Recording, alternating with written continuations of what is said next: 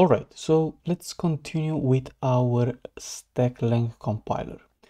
Last time we have added a few extra tokens to our language. Those are, you know, data, function, and these are gonna be like uh, build the building blocks of our programming language, right? And the rest of the language is gonna be made up of using these functions in a stack-based way to, you know, do stuff. All right, and last time we implemented the AST for data. We still have to implement the AST for functions, but I think what I want to do first, so let's let's just see the example how it works. So let me just make and then run it on the example. Right, we print the AST here. So we print the name of the data type, which is IVEC, and then we print the fields. So what I want to do for today is uh, do the assembly and I guess we are just gonna implement something in assembly just you know a chill assembly programming session. And we'll try to implement these functions that I talked about in the readme. So if we check the readme here I said that when we have a data structure defined we'll have one time we'll have the constructor of that data type um, and then you pass the fields and the name of the constructor and you actually build that thing on the stack. And the other thing that gets um, made by the compiler is accessors for these fields. So for example ivec2.x uh, it gets an ivec structure and returns the x field. Pretty obvious. So what i want to do today is try to think how these things are gonna look like in the assembly and maybe if we have time we'll do the function as an AST but now I feel like this is gonna be more interesting to try to figure out. So let's see. I guess example asm well I want anyway uh, doesn't matter. But yeah you can see that we have the the data structure. So we have the name of the data structure. We also have the field names and the types. So it should be quite easy to have some C code, right, that takes all of this information and generates those functions for us to be able to use them. So let's just see how they're going to look like in assembly. And these are the all the tokens that we parse, so not important right now. So yeah, let's take a look at these. Uh, let me just clean this thing up. So this thing I don't need. Right um so let me just i'm just thinking like test oh yeah test assembly is what i actually need. So let me just delete this uh, example asm example o test dot o. We just need test asm for our uh, testing purposes right?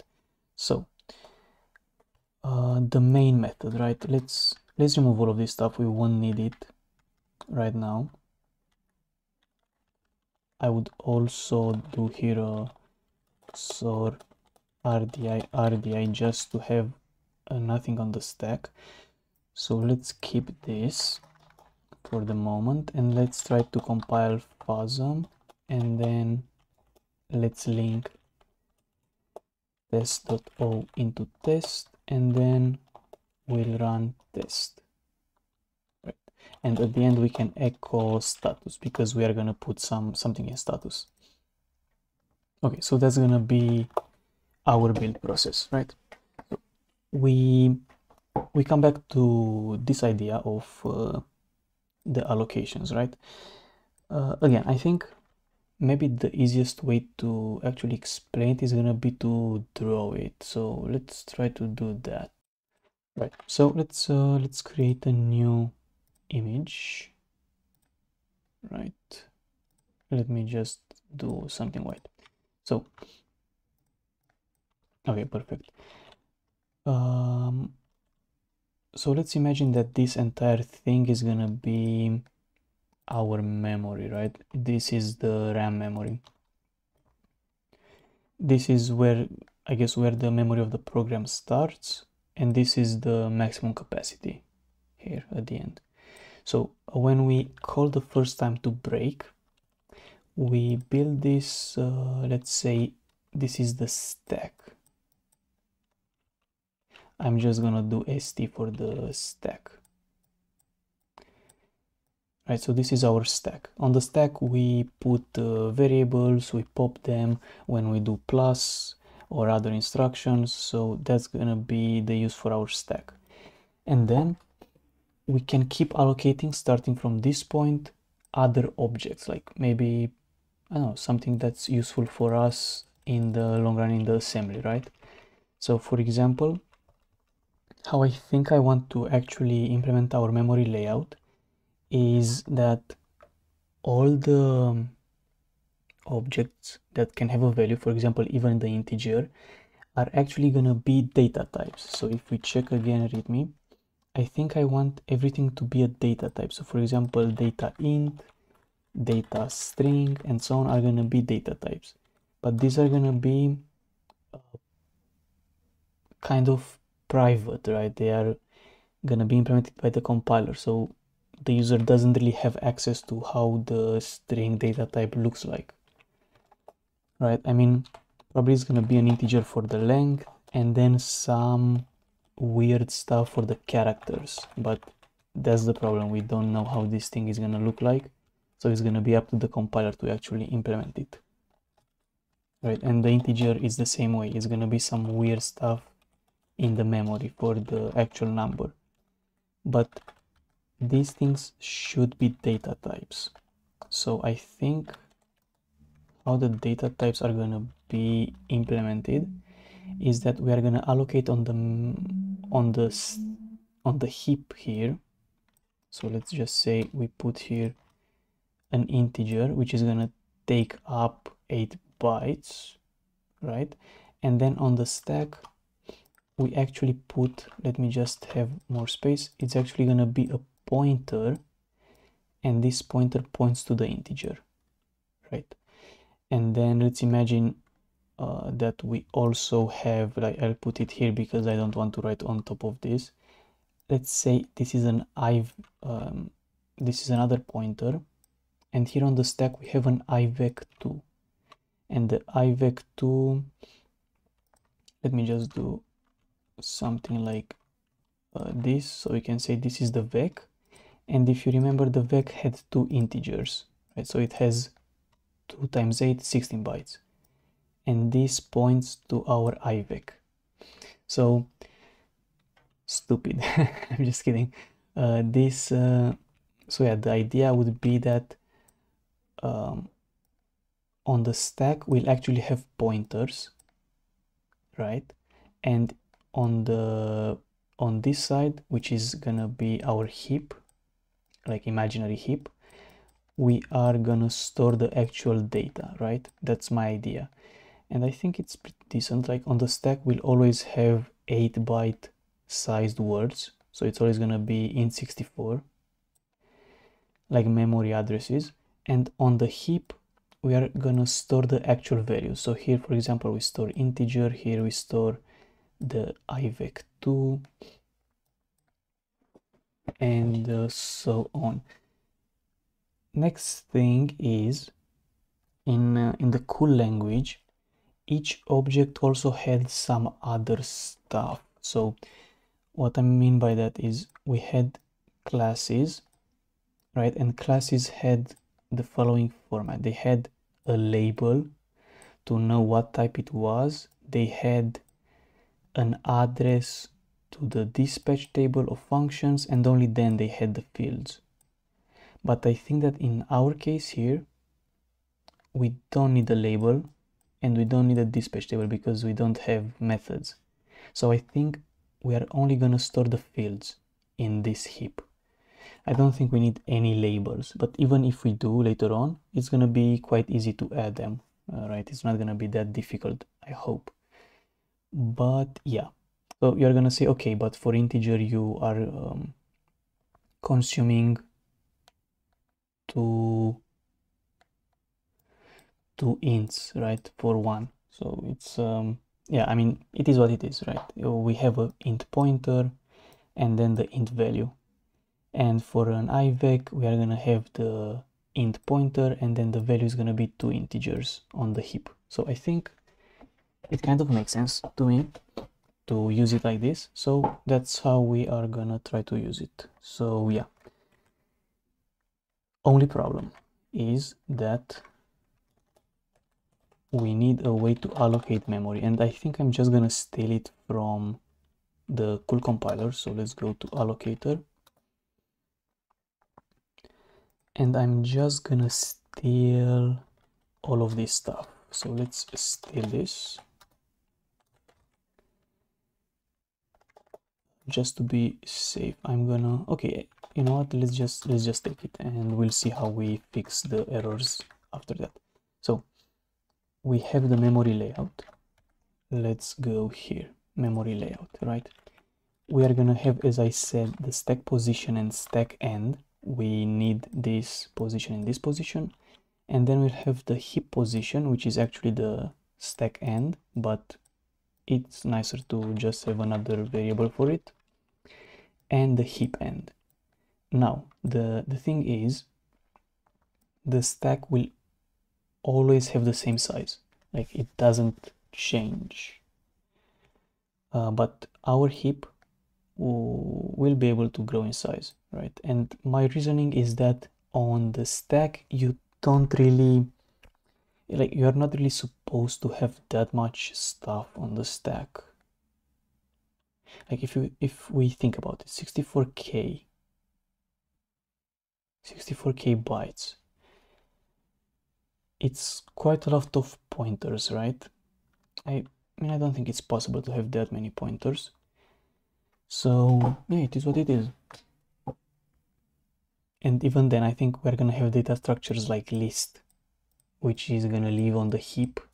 And here you have only a pointer to the list. So hopefully it's gonna be safe so yeah that's what I think. I think the stack is gonna have the same size and then the heap grows like this. Like usually in computers I think in programs that run like the OS allocates the stack here and then the heap grows from the other side. Right? It's it's both come to each other or something like that. Like the stack grows like this and the heap like this or something. I mean i don't know. It's uh, been a long time since i did any stuff like that so yeah.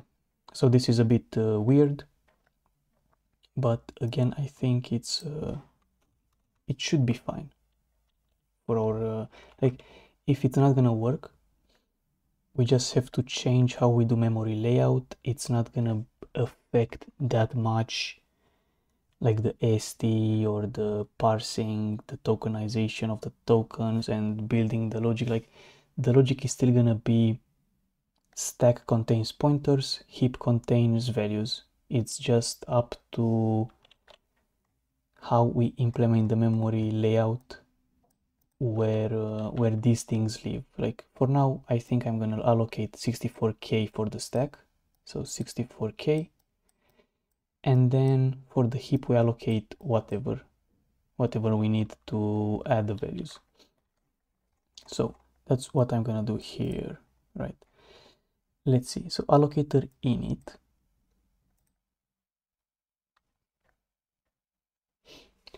I guess I'm gonna have allocator init as a function. So here it's the break, it increments zero, syscall, it says the heap. And then when we do allocate, RDI contains the size in bytes, the stack is empty, and RAX is the newly allocated memory. So how does this thing work?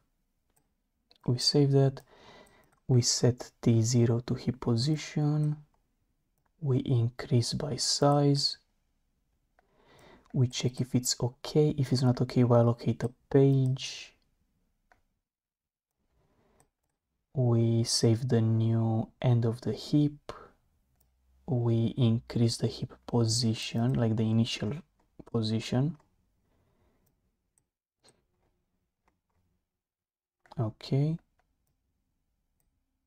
And we return the the old initial position from the beginning. Right. So this entire stuff will be allocated. All right. So yeah if we call to allocate we are gonna get back rax and rax is gonna be a memory address and we know that RDI is how many bytes we can use at that address. Okay. Let's also implement some functions like uh, stack init. Damn it. Stack init.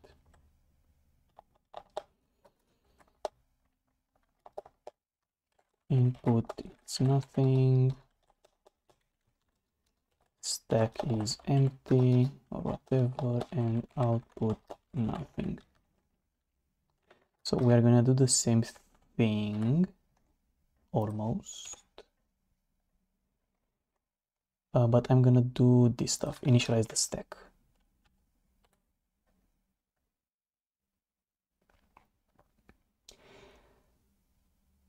Oh, but what I think would be better to do is to actually have it like allocator. Everything is in allocator.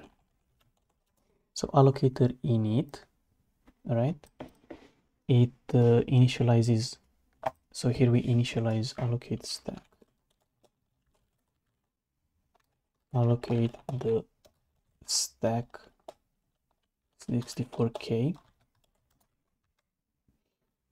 right all of this allocates the stack. And then we get the current initialize the heap. So that's exactly what we do here. In, in initialize uh, allocator. We allocate the 64k for the stack. And then we set the heap to basically be zero. So right now the heap is empty. Right? And if we call to allocate we are going to allocate one page and then reuse whatever we need to use right? So it's it's better to allocate in advance i would say.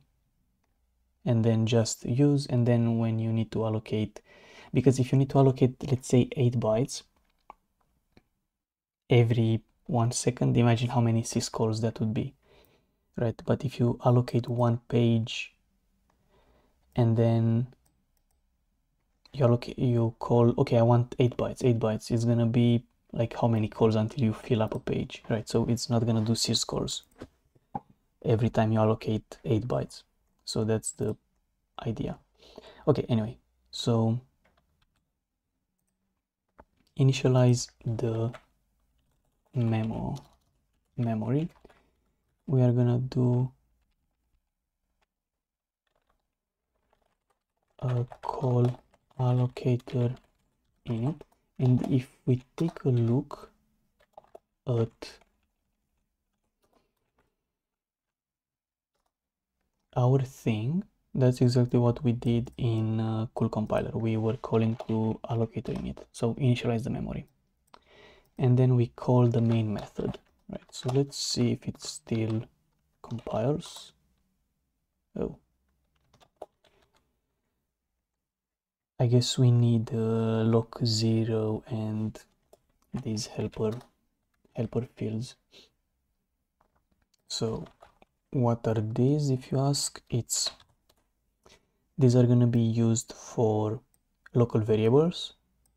So log zero is the first local variable, second one and so on, and these are the arguments. So that's the I have to copy it in the plus whatever register. Okay. Let's come here and paste them. So now we should have all of those variables. So it's it's still zero. So it's still fine. All right. So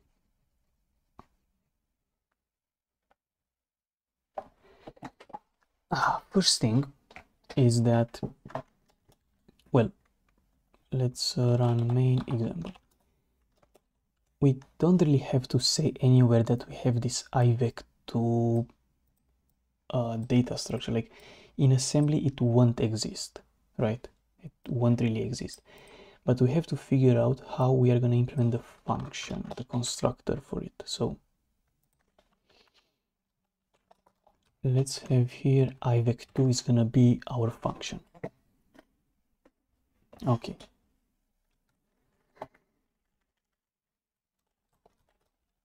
All right. Stack. I think I'm gonna, my convention is gonna be always uh, the stack, like the functions that are generated by the compiler for uh, custom data structures are gonna be allocating like putting their variables on the stack right that's my idea that's how I want to do it this one sure fair enough. It can be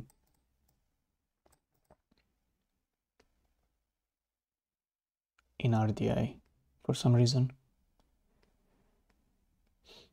Anyway. Or maybe I want first to implement the int function. So the int constructor. But in um, in the language itself if you type so let's go in example. If you type 69 the use of int here it's um, implicit right? You don't have to write int after a literal because the compiler knows okay this is the type int. It has a custom int constructor we just call it without having the user to type it. It's just gonna be easier for us to work. Right because otherwise it, eh, like it becomes weird. Okay anyway. So we are gonna do int. Right and on the stack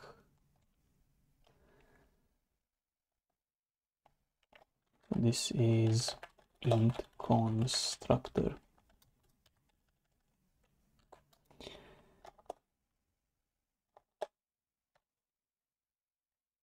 what do we want to do here with the int constructor? So as I explained here the steps are quite simple. We want to create a pointer so we need to allocate some memory. At that memory we write our uh, int and then on the stack we push the pointer. So let's let's do that. Let's have here the stack containing the value. So stack value int right? It's gonna be the int value. Let's do first all of all of these um, all of these saves right? So here we save the return address set, set up the stack frame and then we restore the return address we need to call to allocate. No i'm not it's really it's a bit meh that i have to like i that i do both registers and stack. I mean i think i'm gonna use stack for functions that are generated by the user. And uh, registers for functions that are part of hmm, but would really make sense to use the stack here too. Let's try that. Let's try to change this thing to use the stack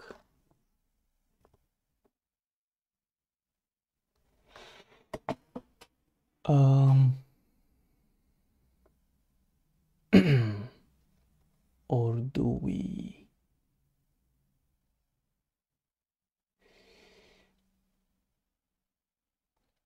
I don't know it's really like it's gonna be much easier if we keep just RDI holds the stuff and you just call to it and get the result in RAX.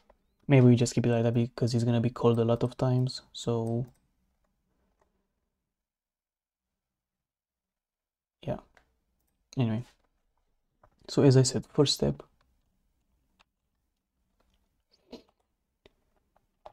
And maybe we also have these variables like t0 right so we let's allocate some local variables we allocate 2 and then we deallocate 2 so we can say t0 is gonna be allocate 8 right? We allocate 8 bytes. So let's do that. Let's have move rdi uh, 8 call allocate whoa what the fuck did i do call allocate and then we need to move into local 0 rax like this. And yeah you just have to keep in mind that it's actually minus here not plus because RBP like the stack grows upwards. I mean no idea. Anyways here it's minus right you have to go with minus so here we allocate 8 bytes we store that into t0 okay and what what do you think is this t0? Like, do you think it's oh, do you think it's p or i? Well, yeah, it's p, right? Because it's um, maybe I can Yeah, it's it's this the value that we have to write on the stack. So now we have to push T0 on the stack. And at the same time, we have to write at uh, the address. So we have to do something like T0 becomes our argument. And we also have to do push T0.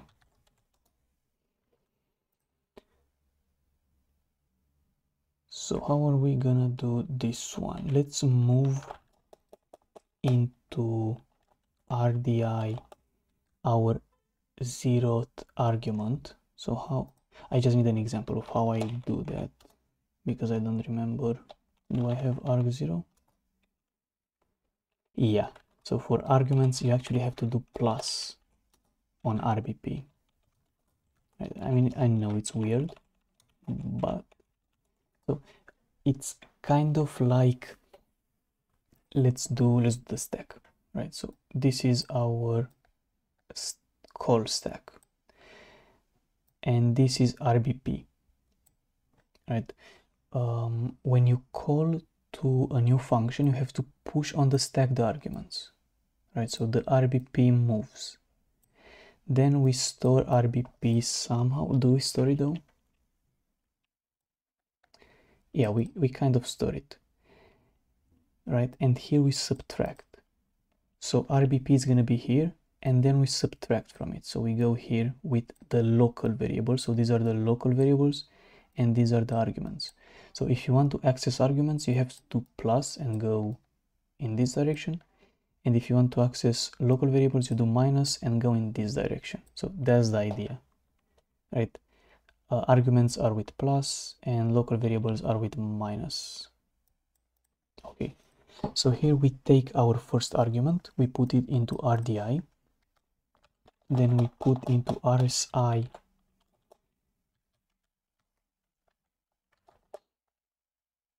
our T0 variable, so RBP minus log 0.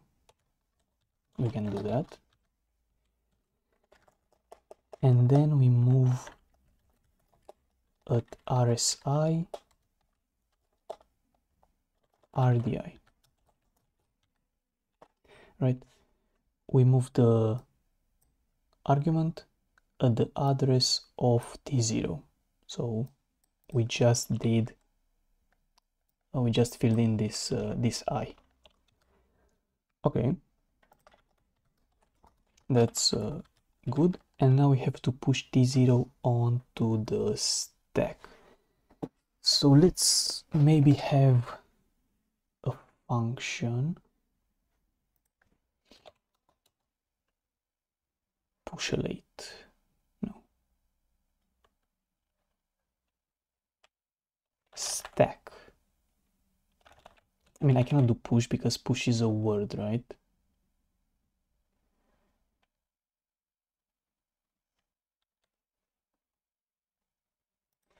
let's do allocator. Hmm. stack push.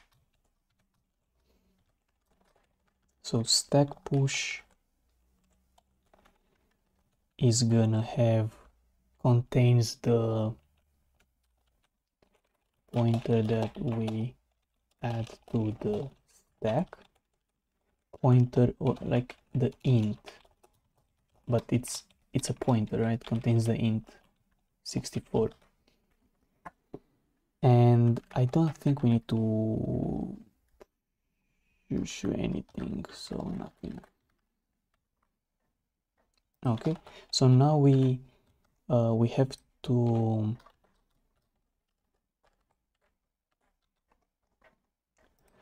what we have to do here is uh, just what we did a few days ago when we uh, were implementing that weird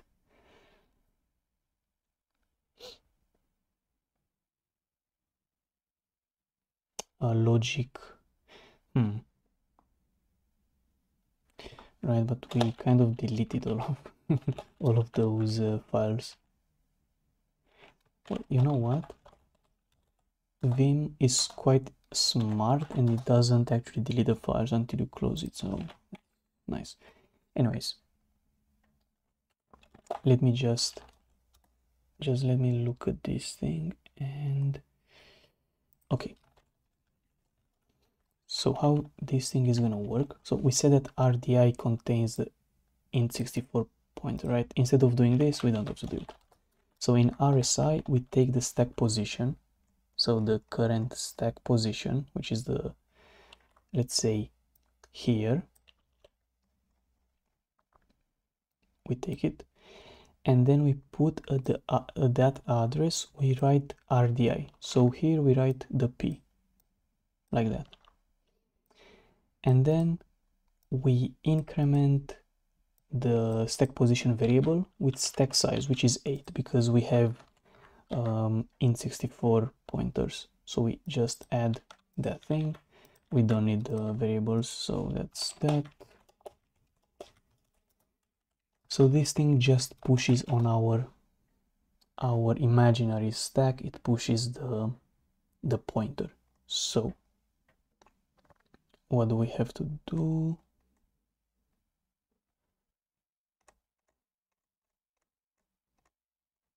Here we have to uh, stack push right? And stack push what did I say? RDI is the thing that we need to add.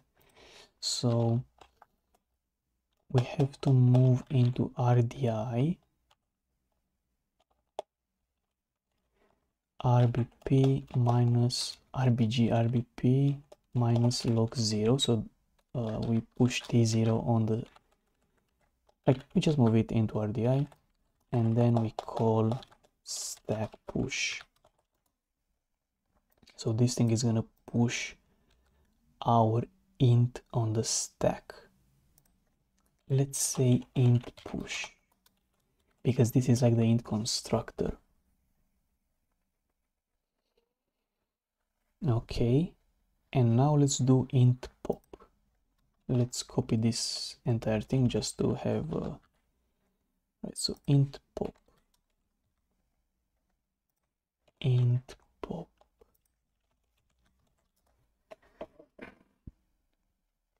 right so int um accessor. Let's say or getter. It's easier for me to write that.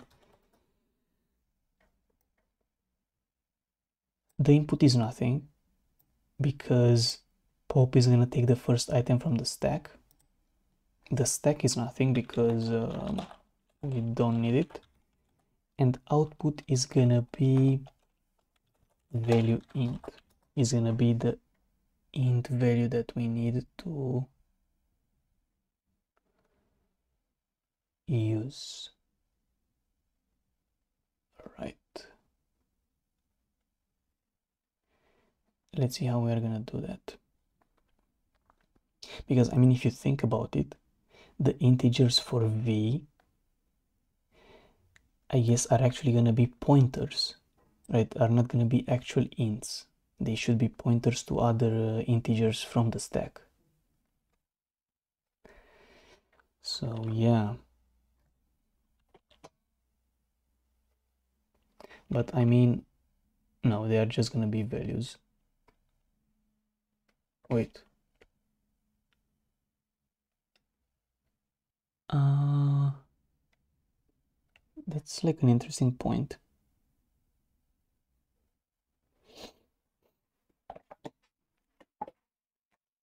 uh, I mean now I'm questioning myself if it, if it makes sense but here we should have the ints.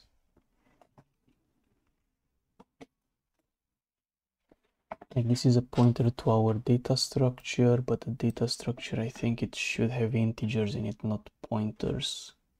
But then what if you have a data structure with two v's in it?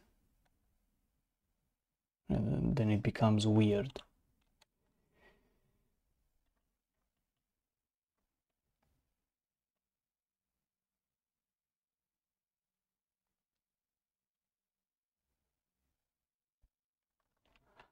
I mean, at the same time, if you actually think about it, like if you do access the X field, it should give you the memory address of this thing. And if you access the Y field, it should give you the memory address of the Y field. So then you have to use int pop to actually do, yeah, I, I guess it makes sense. Let's see. So int pop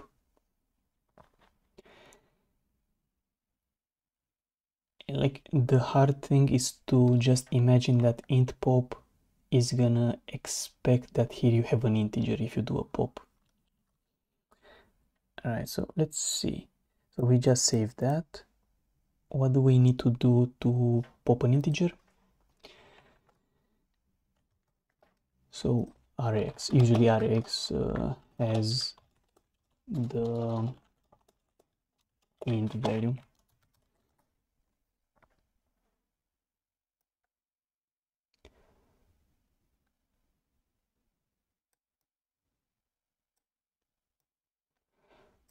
Oh. And now is the, the real question. Should it be the int value or the pointer to the int value? Has the pointer to the int value. I think that's what I want to do to make my logic better.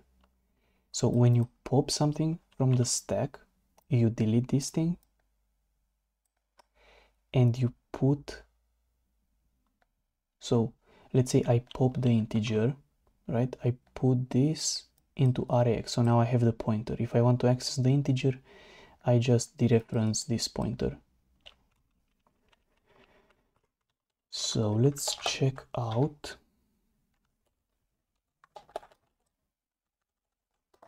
Example.asm and at some point here I was popping. I guess this is a oh, so this stuff wow. Let's go and test. So popping. Popping should do the following. We put into RDI so this thing is not gonna be needed. That's that's for sure. Into RDI we put the current stack position. Then we subtract stack size from that. So if you think about it uh, let's say we have this stack and we have a pointer here and a pointer here. The stack position is going to be this pointing to this new empty space. So we have to subtract stack size to point to the empty uh, to the filled space right? We have to subtract stack size and then we also do this one which I guess we could do that first. And then this is enough like we subtract stack size from the stack position and then we take the value. But imagine if this was multi-threaded right? Like this could be a race condition. We read after write so I think we should keep it like this. Who knows? I think that's the way to actually do it correctly. Hmm. right. So first you read and then you actually uh, subtract stack size from stack position. Let's do it like this. Let's keep it safe. So now in RDI we actually have uh, this thing which is a P. Which is a P. And I think I'm happy with that result. Mm. I'm just gonna move that into R RAX as the result right and we don't need local variables. So int pop. And let's have it as a function. So this is stack push and stack pop. So stack pop RDA contains the uh, nothing and here Rx contains well it's exactly the same thing. Uh, R, RAX contains this thing that we pop from the stack. But let's um, stack pop. And we are gonna take this thing and replace it here but let's do rx rx so that rx actually like it's shorter. Nice. So now we can do stack pop. Actually just call stack pop. And yeah fair enough. This is just the address. We don't get the value. But the referencing is gonna be a separate thing. Like i want to work like i want all functions to work with pointers not with the values. I think that's how i want to do it. So yeah anyway let's um let's see. So we are gonna push a 69 on the arguments and then we do int dot push so we call int push. Then we have to add hmm I actually forgot.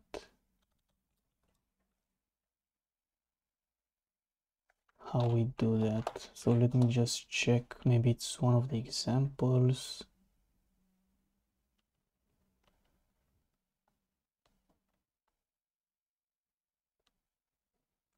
like calling functions. Hmm.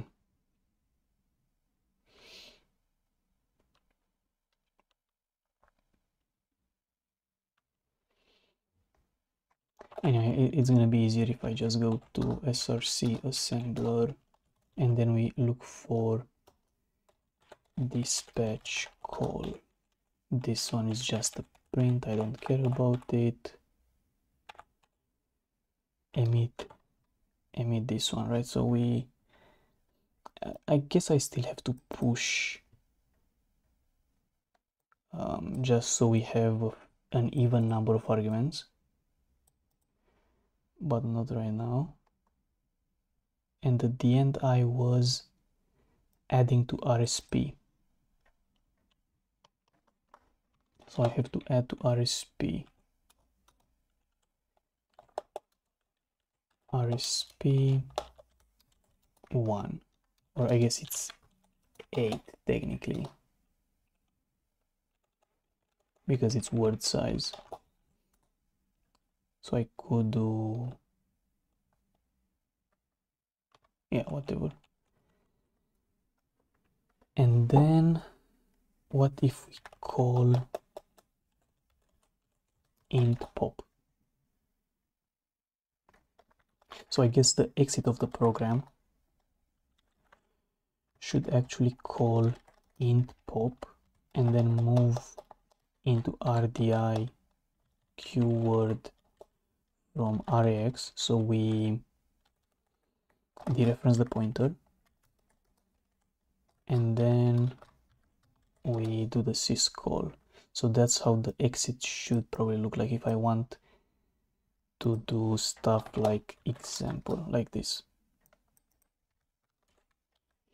All right so here we push this on the stack. Let's see. So this would be equivalent to this program like without um, I guess that's the that's my way of thinking okay so let's see if we are today we are the compiler. 69 that worked first try. Are you kidding me? Are you kidding me? So yeah, I, would say that's that's the idea. You'd say oh but why don't you use the actual stack for um, I don't know. I didn't think about that excuse me. Like what? I could do that? You're telling me I could have done this? Hmm. No but I think if I'm gonna do functions I hmm if you use this stack right for um, your pointers or variables and then you use calls you are gonna have extra garbage on the stack. Or i guess no not garbage but like unrelated things to your data. So i think it needs a separate stack like we discussed here. I think that's the the way to do it. So yeah, I guess whenever we have random integers uh, like this in the code, we are gonna interpret them with this code. Push on the stack and then a call to int push so you don't have to actually do int push yourself um, that's like understood by the compiler that it has to do int push. Okay. Right and now let's try to think how would we do something like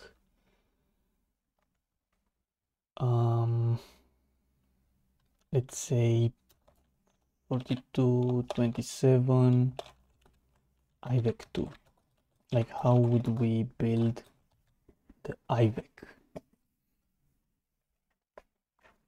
how would we build the ivec so for that let's try to implement the ivec function. So um,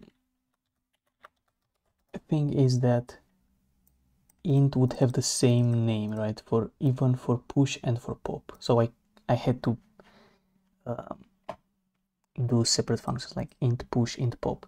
But for for the ivec i don't think it's needed.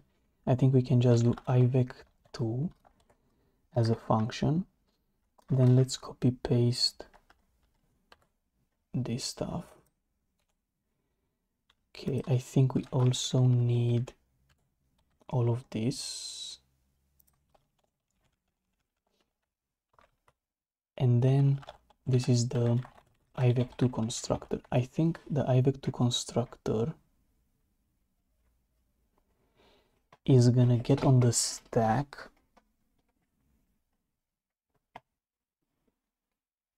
Of so push I said doesn't return anything. But maybe it would be nice to return its own stack position like ah, not stack position but address. But I mean yeah we don't need that because no that's this is weird. We don't need to have anything on the stack. We are just gonna use yeah. We are just gonna use okay so then maybe for this one is gonna be so the stacks are not gonna really be used right for for any of these I think. So how about yeah that makes sense the stack won't really be used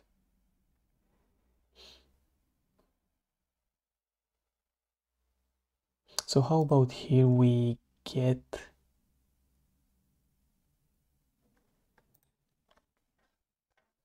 the argument in RDI so that it's gonna be a bit easier.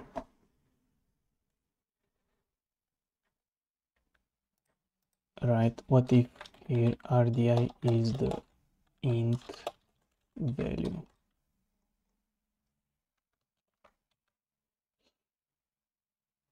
And we can say, I don't know, like for example t1 is RDI just to use t1 so just store RDI in t1 and here it's t1 minus loc 1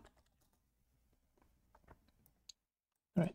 So what if we do this instead so that we don't push on the stack and we just do move RDI so it's a bit shorter again. Like how about int push just uses uh, the the registers. I think it makes sense. Let's test it again. Let's make sure that it still, it still works. Okay that's nice.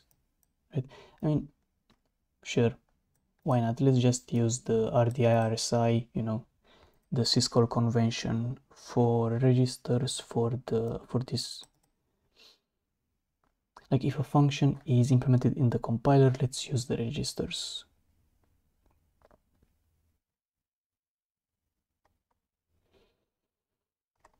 okay but even then the this stuff ah we need to allocate 16.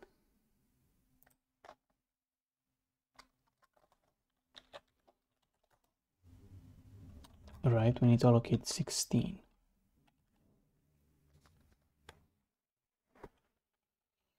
Then we need to pop two integers.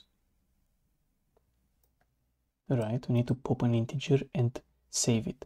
So let's see address of t0 so x basically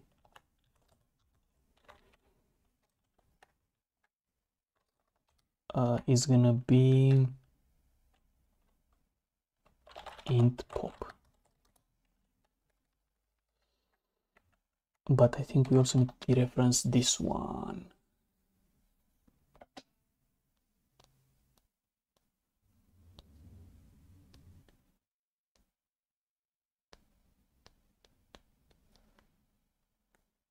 Huh.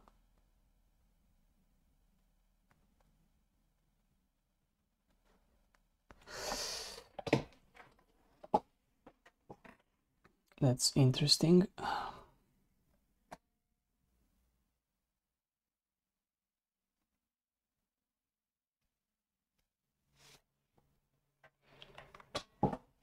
Mm, no, we don't reference it. It's uh, just int pop.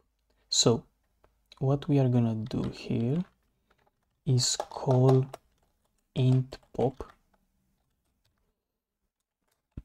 right pop the integer into rax then we need rsi to be this stuff or i guess rdi might as well.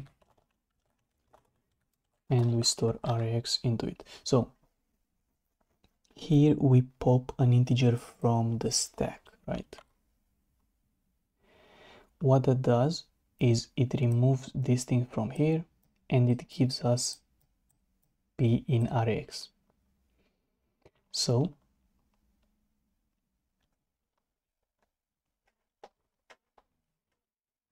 I guess we store this thing in here. It kind of makes sense.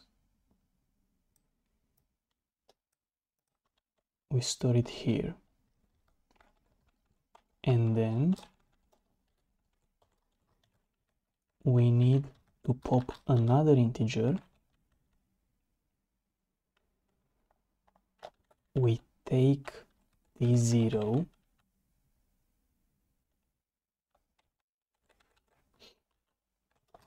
but here we need to do stack sz or like plus 8 because we have an offset. And then we push t0 on the stack.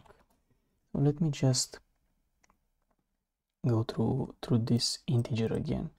I guess integer is gonna be special because it's an actual value. Right so here we allocate 8 or I guess a word a stack word here we store this thing.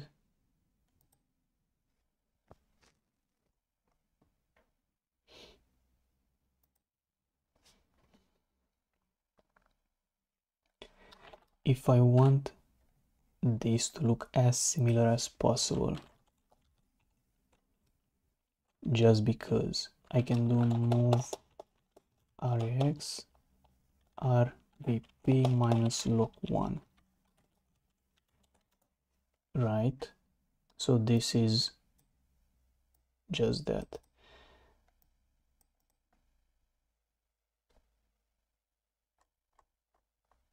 just make it look a bit more similar to the rest. So maybe this is an algorithm itself. Stored um, yeah, it looks like a it might be an algorithm, right? Like this thing is gonna be copy pastable and here we'll have 0 times 8, 1 times 8 and so on for each thing and here instead of int pop it depends what type this variable has like if this thing is uh, uh, a, a ivec then we would do oh ivec to pop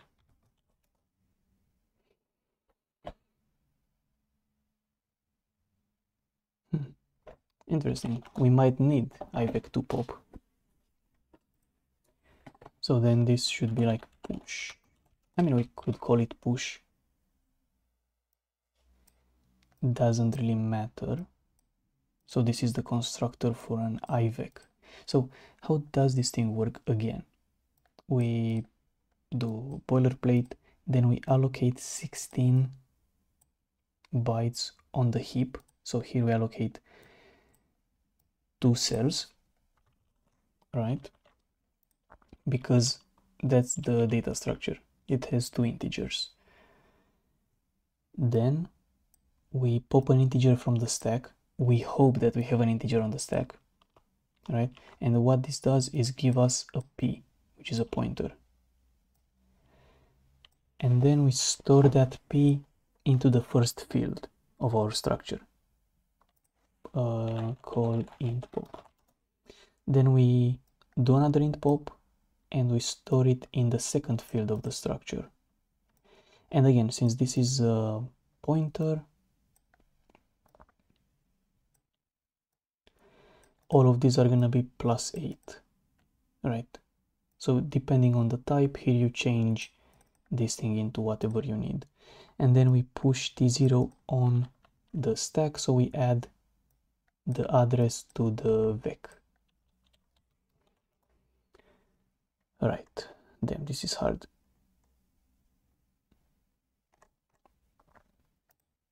And actually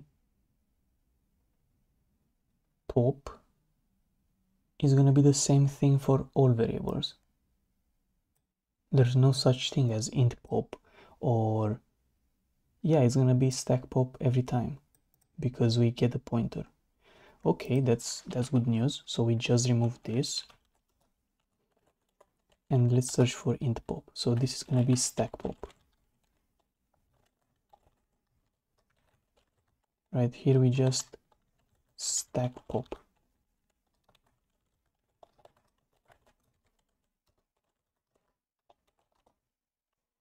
Right it's quite nice now. So for um, like constructing an IVEC you just have to pop an, uh, an address. You store it in the first field you pop the second one you store it in the second field and then you push the address of this thing yo that's much better. Okay okay. So let's say we want to do this one right? 42 and then we push another thing. 27 so what do we think is gonna be on uh, the return code? 27 correct and what if now we call ivec2.push okay. Whoops. Oopsie doopsie. And a little fucky wacky okay what did i think was gonna happen? Well i thought it's gonna be 42 because that's the first int but apparently not. Okay let's see. So push. It means it did a pop. It did another pop.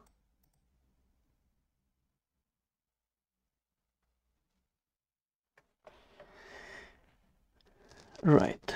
So it did a pop another pop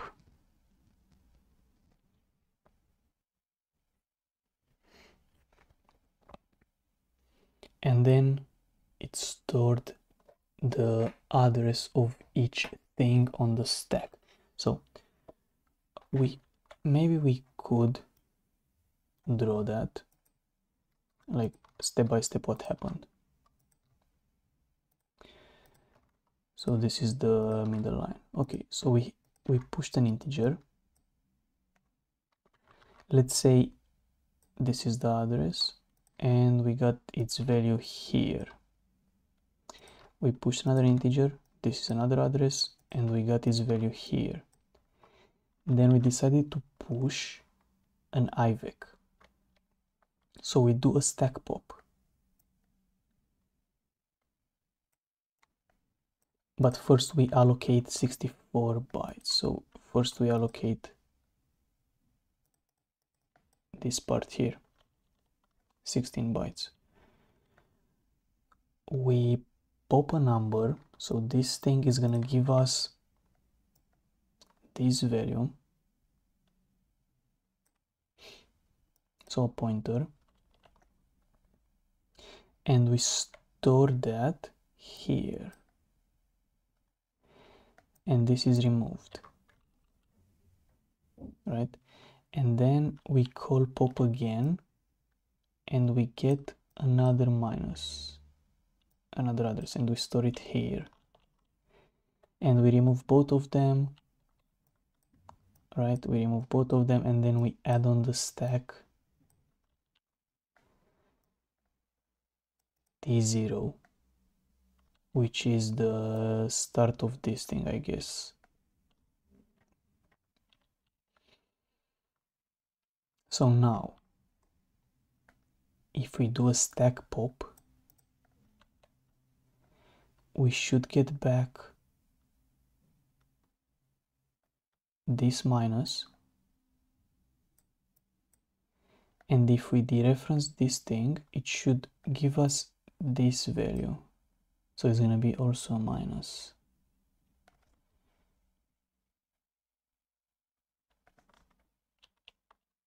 Okay so it's not really gonna be okay fair enough. So let's implement then ivec2.x let's implement ivec2.x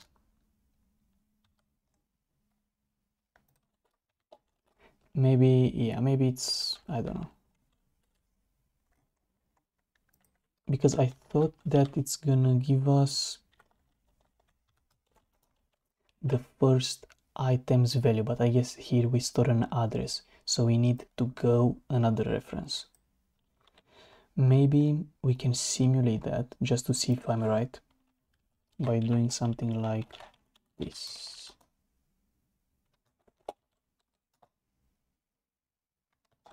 Oh.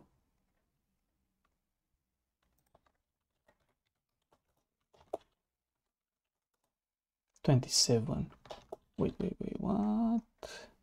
27? I thought it's gonna be 42. Oh, yeah, it's 27. Yeah. Okay, so it is like that. Alright, we have to dereference it again. So then let's implement ivec2 xgetter. What is it gonna output? Well, well, well, it's gonna output nothing really. It's gonna put x on the stack. So we allocate 8, right? We allocate 8. We pop from the stack. It's gonna be huge. We pop from the stack.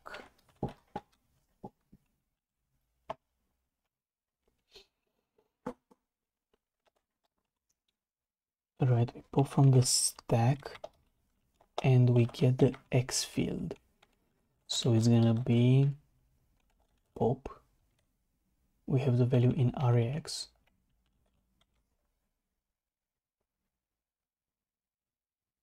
oh shit. Yeah it's gonna be rax right? It's gonna be rax that's all. And then we push this thing. We push t0 so now if i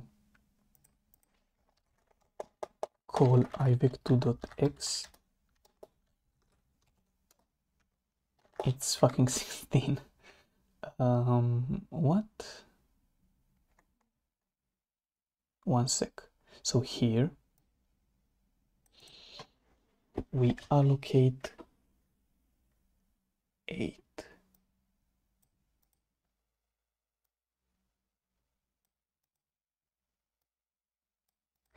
hmm. I guess that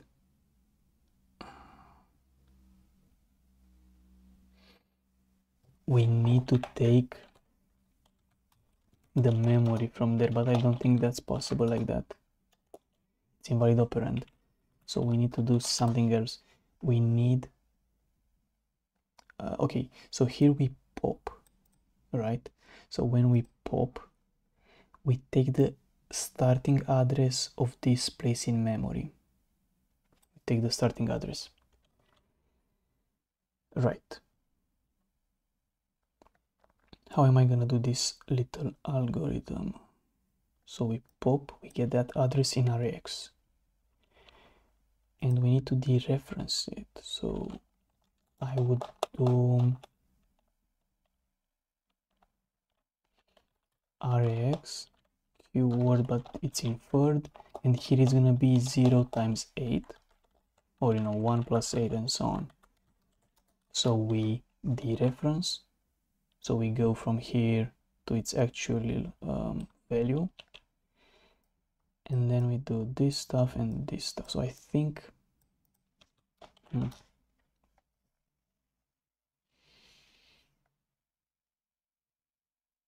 I think that's the algorithm. But the problem is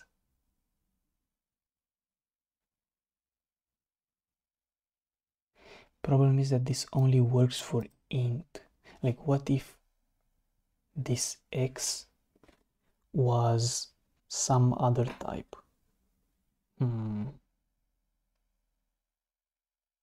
Like if x is some other type you need to mem copy it somehow.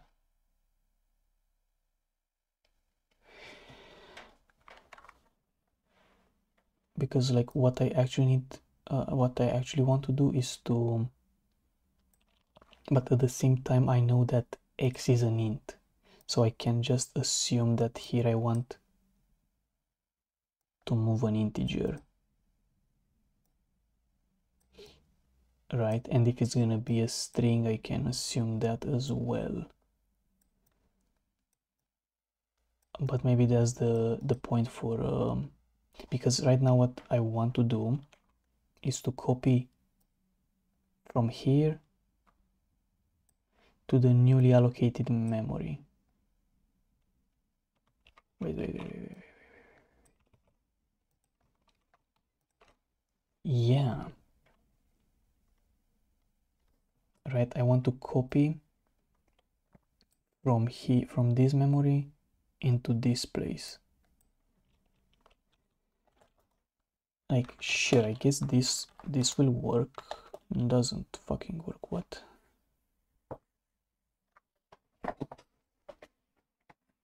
What I haven't called yeah I have called it the fuck so push and then I call this X thing. Hmm. So like I allocated an empty space, right?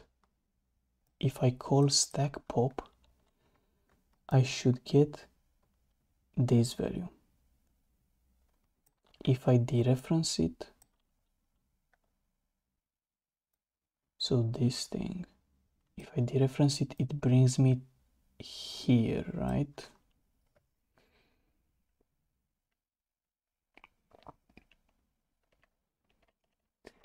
So I guess at this stage I have RDI which is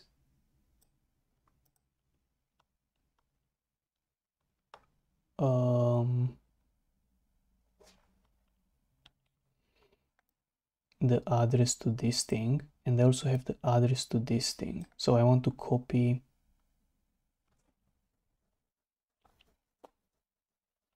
yeah like rx is the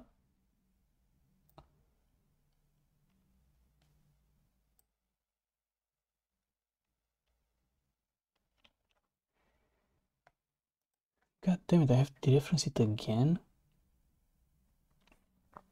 So it's like stack pop is gonna give me uh, the value I have here.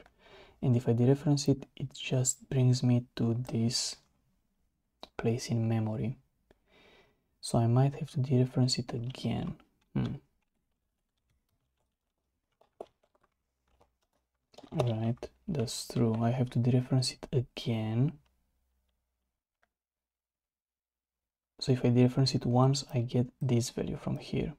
And if I dereference it again, I go to the actual place. Or I guess to the actual value. So then how are we gonna implement this? So many arrows, it's uh, it's impossible to know what what happens there so yeah like stack pop is gonna give me the address of the data structure. Like let's let's think like any types. Right? Stack pop is gonna give me the address of the data structure. So the beginning of the data structure.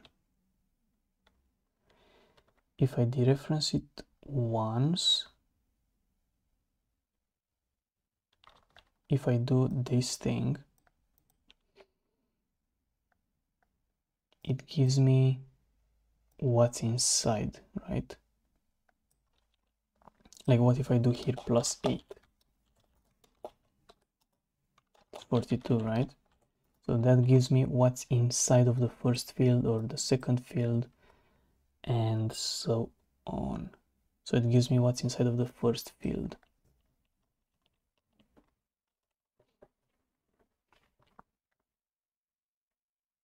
I guess here we need to know uh, what size each field has so that we know what offset to use here. So this is like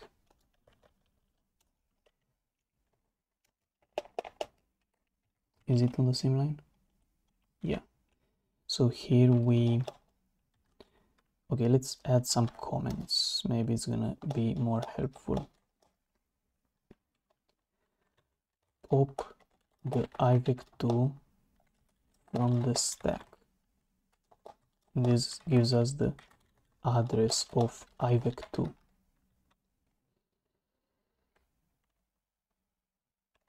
Get the field based on offset. In this case, first field 0.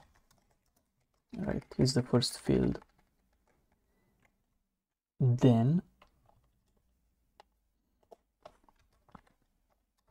this part is interesting.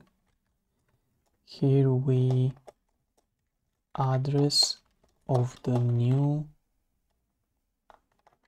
item on the heap like here we need to copy the this is basically t0 like let's just leave it like that. This is t0 and here this should be a copy function. We want to copy from this address to this address. Right? And we need to copy 8 so we need some kind of copy function for this one.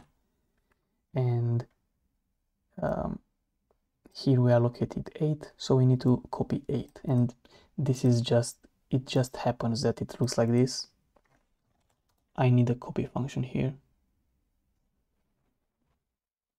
to copy from RAX into RDI.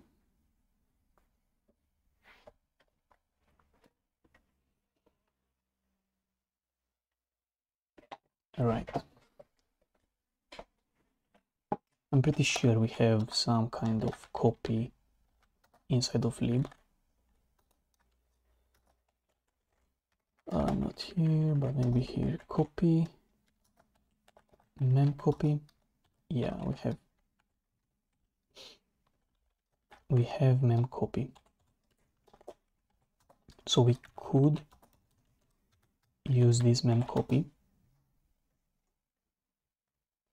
Destination source number of bytes. So destination source number of bytes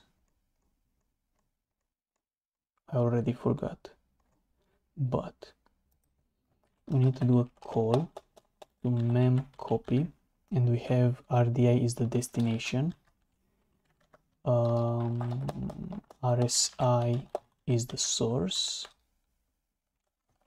And RDX is how much? Mov RDX 8 so I think this should still work. Yeah so for example if this was uh, dot y we would do here plus 8 because it's the second field right? So that's that's how we, we are supposed to do it. And imagine that x field was i don't know something like 24 bytes. Then you would have here 24 and here also 24 right? Like that's something that could happen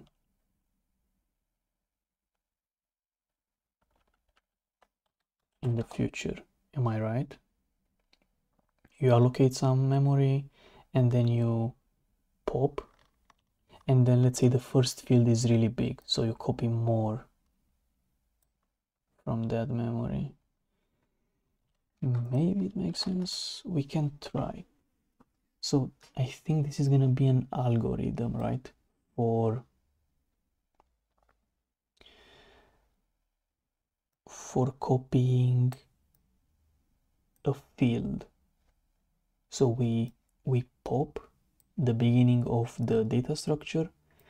We index the field based on the offset so we need to know the size of each structure. Right? We kind of need to know the size of each structure. That's interesting well that's something known at compile time pretty much. Uh, then we need this thing to be like okay this is the destination where we need to copy the new like the field. Here we need to copy the field. This is the address of the field that we need to copy. And this is the size which should be equal to this like the size of the field. Okay makes sense makes sense. So let's also do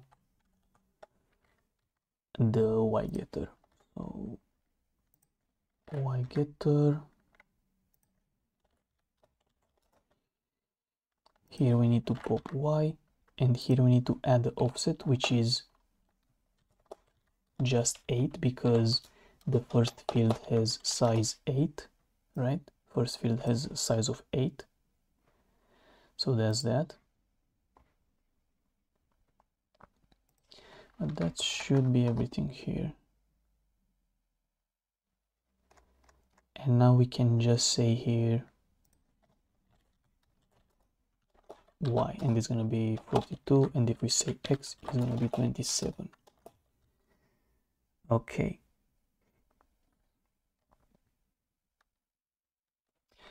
right so dup, function should be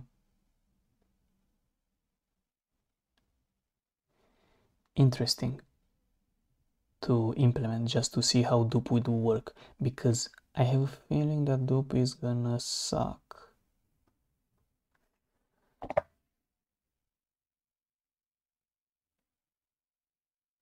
Not really. I think, yeah, let's see how we could implement dup. And I guess dup is gonna be the last thing. So how are we gonna do dup? let's copy i have a feeling that it's gonna look like the accessor for uh, for uh, that so let's let's go here and let's implement dup hopefully it's not uh, let's do some func.dup i don't know like our functions start with func so let's store everything Oh, but dup is like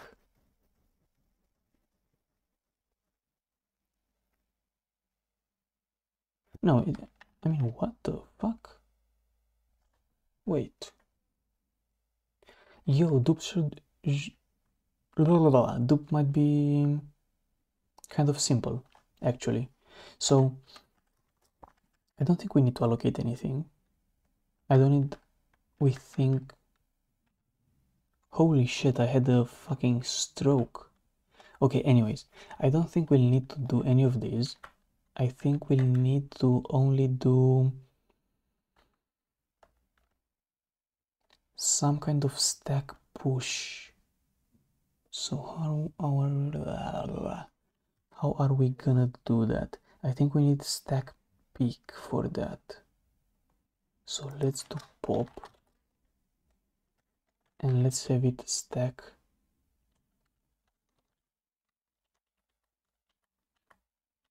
stack p stack pick. Yeah, what? Okay, so stack pick. Alright, so we just have to not do that for uh, stack pick. That's um, easy. So what are we gonna do in dup? So I, I was uh, afraid that uh, dup will duplicate somehow the same pointer and then if we overwrite like it's gonna be really messy but I don't think it's gonna happen. Let's see. So stack pick. Stack pick. Right, so now we have the the pointer that we want to duplicate in uh. So we just have to push it. Uh, I forgot how stack push works. RDI is the pointer that we want to add on the stack. So I think this is dup. Alright, let's try to call function dup. Let's try to dup. Let's see what happens. 27. Interesting. And what if we call again to that? Ah, fuck. Ah, fuck. I mean, I thought it's gonna work. I thought it's gonna work. No. Shit. So, question is, why didn't dup work? What failed? What failed when I did dup? What failed so bad? So we pick, right, and we get the. I mean, this one deserves its own drawing, right? So let's imagine that we have this shit. So we push you know let's do it only for an integer just to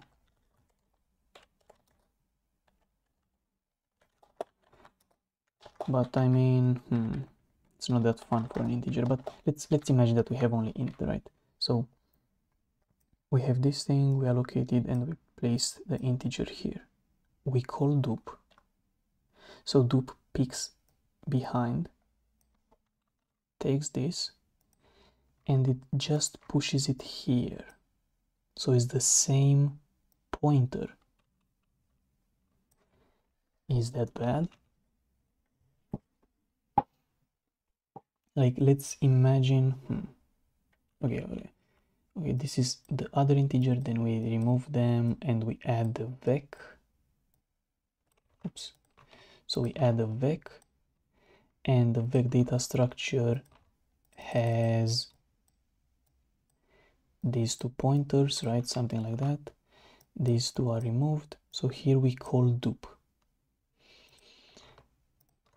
we just copy this value right this thing. So these two things point to the same thing here.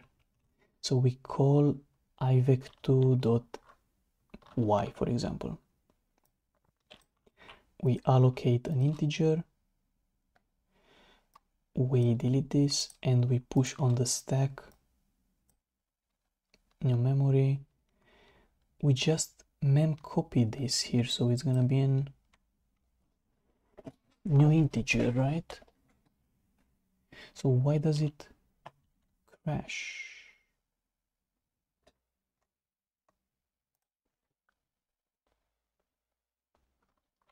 Mm. ivec2 let's do ivec2.x twice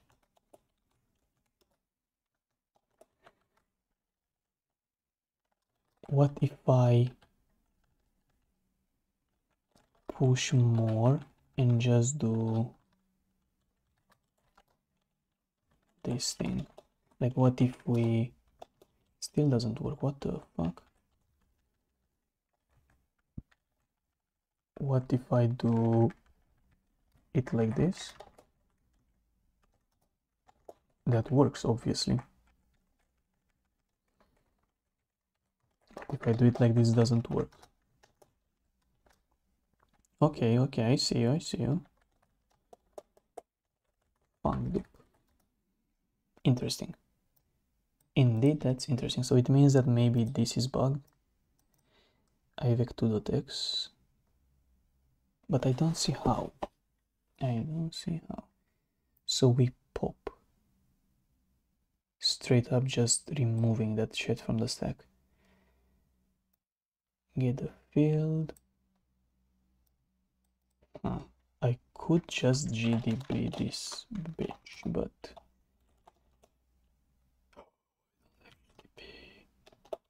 damn, I wasn't prepared. okay, anyway, that's interesting. It just fails. Segmentation fault. Yeah, I'm not really sure. It's weird. I wanted to check the memory, but I don't have GDB and I'm not gonna spend time now to install it. I want GDB PEDA anyway, so uh, yeah. I guess that could be interesting to figure out, but okay, what can go wrong? Because we saw that this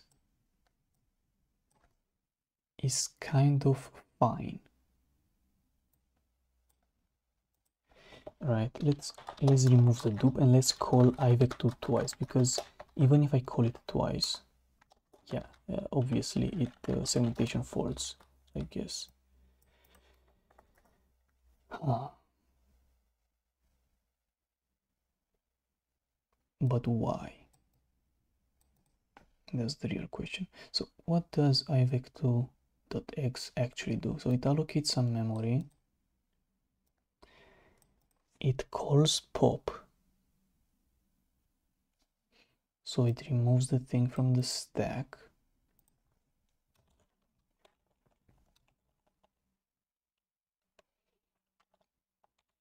All right it just purely removes it get the field based on offset. So first field or second field whatever. It gets what we just allocated. So this thing is fine. It's not like in whatever place. Puts rax there and then it just mem copies it. Interesting. I mean I really don't see anything wrong with ivec2.x or y and here it stack pushes so I don't really see oh you know what I'm fucking Mm. Yeah, you know why? Because if I call this thing, I need to swap. Right, I need to swap. So we also need func.swap because the last thing on the stack is gonna be an integer. I'm already bad at my own language. Okay, let's let's try to do swap. Swap should okay swap shouldn't be difficult he said right swap shouldn't be swap so swap what are we gonna do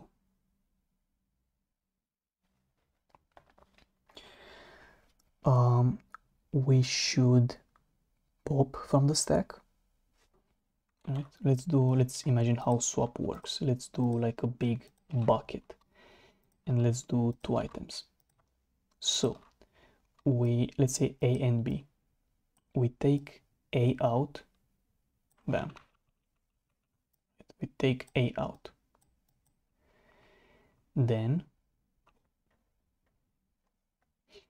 we put it into a register i guess we can take B out and put it into a register and then push A and push B. Oh, that's easy. So I could just stack pop, but is there a more efficient way? That's that's the real question. Is there? I don't think so. So we pop.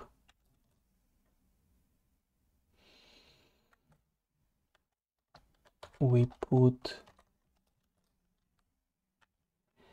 Oh, you know how I'm gonna do it? I'm gonna pop and then I'm gonna put uh, it like this. I'm gonna use the local variable. So let's say something like t0 becomes a, right? That's does that, and then we do the same thing and say t1 becomes b. t1 becomes b. So now we have to push a and then push b. So stack push, stack push, and um, yeah, should get the argument in RDI. So let's see. Oh, already had that. Interesting. So push A and push B. Right, so this is swap. This is swap. So let's see that I think now it's gonna work, right? So we run it and we get 27 because 27 is on X. But if we do Y, which should be 42, we get 42. So that's nice. And so here it's gonna be in RAX, right? Let's do move R di RAX add RAX RDI.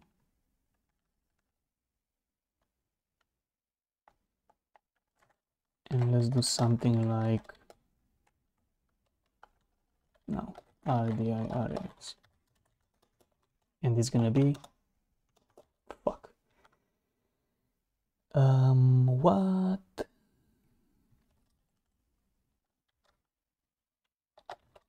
Oh obviously. So I might want to use RBX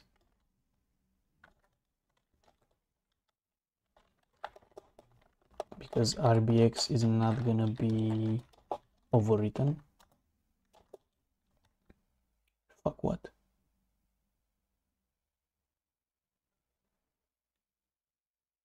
Wait what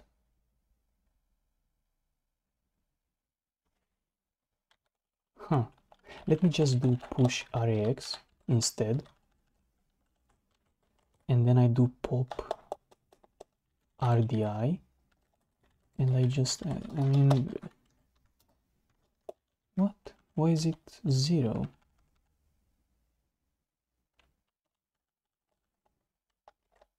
Let me just move RDI 100 that's so strange So here I push it, I pop into RDI. Oh, hmm, that's that's why. Because I actually have to do something like move RAX, RAX, and then move RAX, RAX, right? 84. Why?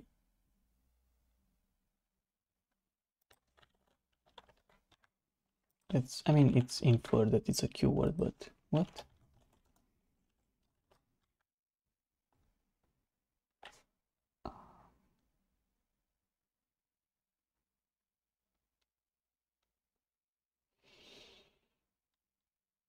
I think I need to also stack pop them. So maybe it's not needed to do that because they're on the stack. So let's do stack pop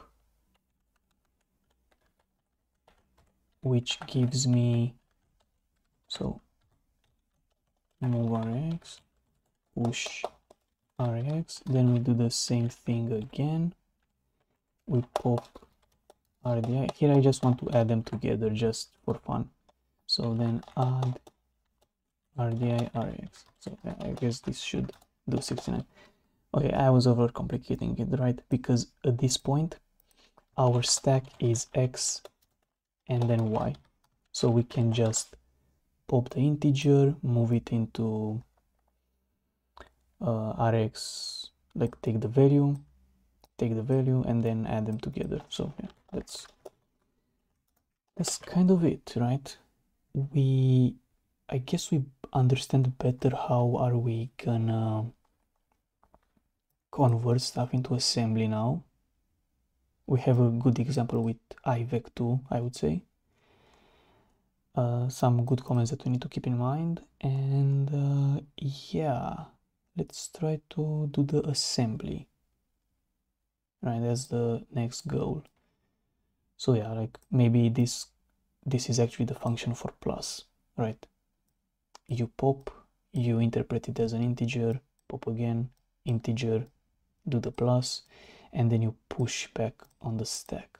So maybe that's what i'm missing here right? So uh, call int push and now we can we can actually have it like this. So this is the plus algorithm but i'm too lazy to actually write it. So yeah i think this is a good example for maybe let's let's write the stack program actually. So let's go into example sl so this creates the IVEC then we call dup ivec2.x swap ivec2.y and then plus. Right that's what oh 42 yeah. That's what this program would compile into in my opinion. Right it's kind of okay-ish let's say. So yeah so it's, it's just gonna be a sequence of these calls right? We just need to figure out how how are we gonna implement them but looks like we kind of have. So yeah i guess the main difficulty was coming up with a good memory layout. And I think this is decent. Uh, it doesn't look decent right now but I think it's decent on the stack we keep the pointers like this is the summary. On the stack we keep the pointers. And on the heap so this is the stack and on the heap we keep the actual values or whatever. And basically all the functions and everything in stacklang will work with pointers. And in the assembly code we actually switch to values and do the calculations. So I think hopefully it's fine for now. So let's see next time how are we gonna convert these things into assembly. Yeah I didn't have time to finish the function but uh, it is what it is. So yeah let's try next time to uh, maybe next time we'll actually start with doing this as the AST and then we'll um, convert AST data structure into assembly like this, right? Of course, we won't have the comments and all of that, but I think it's good enough. Right, and probably from here, like below this stuff, this is gonna be like part of the compiler itself right all of these lines like 200 lines of code is the compiler already existing code and these things are gonna be generated automatically so yeah they, I think this is gonna be the biggest challenge the fields uh, constructor should be pretty easy well that's what he said. Hopefully. We'll see. Uh, so yeah. I mean, of course, these three functions, the const or I guess the constructor and the getters for the fields are gonna be the main challenge, because um, functions defined by user are going to be easier just going to be a sequence of calls right? You, you can see it. It's just call dup call this call this this one this one and so on.